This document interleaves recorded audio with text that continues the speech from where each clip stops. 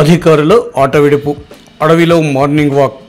మూడు గంటలు ఆరు కిలోమీటర్ల నడక సేద తీర్చుకున్న అధికారులు.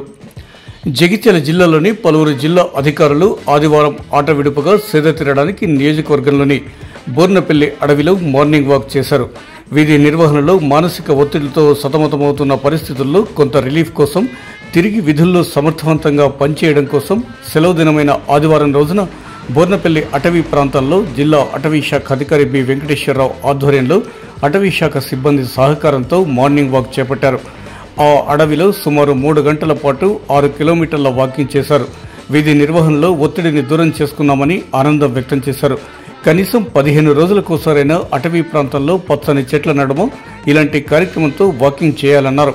తద్వారా అన్ని ఒత్తిడులకు దూరంగా ఉండగలుగుతామని ఈ సందర్భంగా వారు అన్నారు ఈ మార్నింగ్ వాక్లో జిల్లా అటవీ శాఖ అధికారి బి వెంకటేశ్వరరావుతో పాటు అటవీ శాఖ సిబ్బంది జిల్లా ఎస్సీ కార్పొరేషన్ అధికారి కుందరపు లక్ష్మీనారాయణ జిల్లా లీడ్ బ్యాంక్ అధికారి వెంకటరెడ్డి వెటర్నరీ శాఖ జిల్లా సహాయక అధికారి డాక్టర్ భువనగిరి నరేష్ జిల్లా వైద్య ఆరోగ్య శాఖ అధికారి డాక్టర్ పుప్పాల శ్రీధర్ ఎస్కేఎన్ఆర్ ప్రభుత్వ డిగ్రీ కళాశాల ప్రిన్సిపల్ డాక్టర్ అరిగెల అశోక్ జిల్లా ఎస్సీ సంక్షేమ శాఖ అధికారి రాజ్కుమార్ కాంబ్లే జిల్లా బీసీ మైనార్టీ సంక్షేమ శాఖ అధికారి సాయిబాబా జిల్లా రెడ్ క్రాస్ సొసైటీ సభ్యులు సిరిసిల శ్రీనివాస్ పాల్గొన్నారు.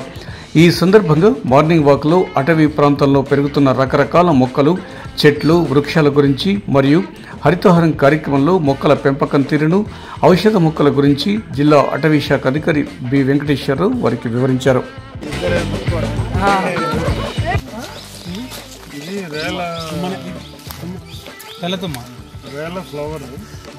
మనకి పుత్తూరు తైలంలో వాడతారు. పుత్తూరు తైలం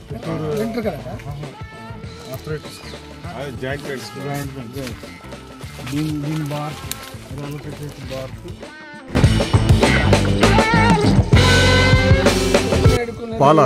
అది అది చేసి ఈ కాయలు కనపడుతున్నాయి రెండు రెండు కాయలు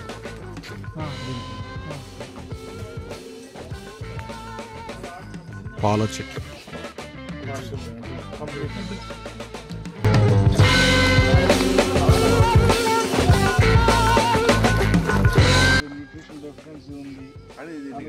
ఇది గార సెట్ కొన్ని ఉంటాయి అది చూసినామంటే సాయిల్ కండిషన్ సాయిల్ హెల్త్ మనం గ్రాడ్యువల్లీ సాయిల్ ఫెసిలిటీ పోతుందని కొత్త స్పీసీస్ ఇన్వైడ్ అవుతుందని మనం తెలుసు అంటే ఈ ప్లాంట్ తక్కువ ఉంది ఉంటాయి. ఎందుకంటే ఒరిజినల్ ఫారెస్ట్ ఉన్నప్పుడు ఉండవు. ఇవన్నీ ఉండవు. సాఫ్ట్ వుడ్ దాని షార్ప్నెస్ పోదు.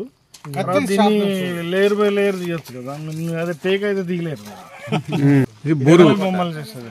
నిర్మల్ టాయ్స్.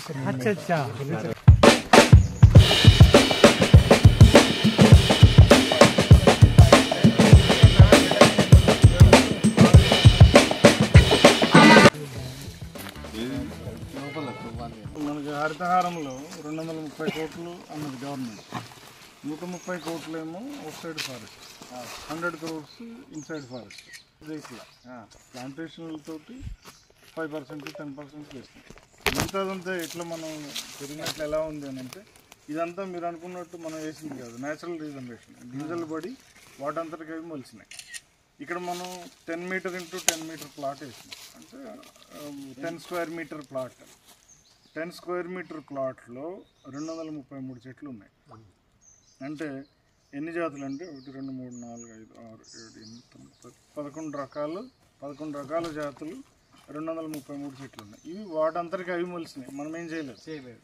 సో ఇదే దీన్ని మేము మేమేం చేస్తామంటే ఓవరాల్ ఓ పీరియడ్లో మనం మా హెడ్ ఆఫీస్ వాళ్ళు కొన్ని పాయింట్స్ పంపుతారు శాంపుల్ ప్లాట్ అని.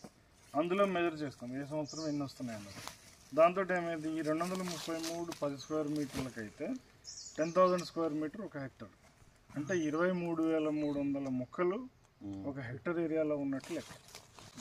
ఇవన్నీ ఆ సంవత్సరం ప్లాంటింగ్ చేసిన వాటి కింద వస్తాయి. అందుకని వంద కోట్లు అనేది దాటుతా ఉంది అంటే ఇవన్నీ రెగ్యులర్గా ఉండేవి. అంటే రీజనరేషన్ అనేది రీజనరేషన్ దీన్ని ప్రొటెక్ట్ చేయడం అనేది నేచురల్ రిసోర్స్ ప్రొటెక్షన్ అన్నది చాలా